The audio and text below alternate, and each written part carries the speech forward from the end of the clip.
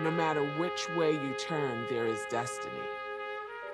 It was destiny that my father and Cassius Clay would meet.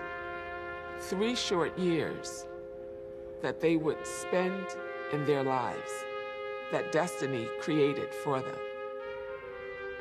That was their blood brotherhood. We are no longer slaves. White people no longer own us. Cassius, uh, Cassius destroyed that image the other night when he knocked out Sonny Liston.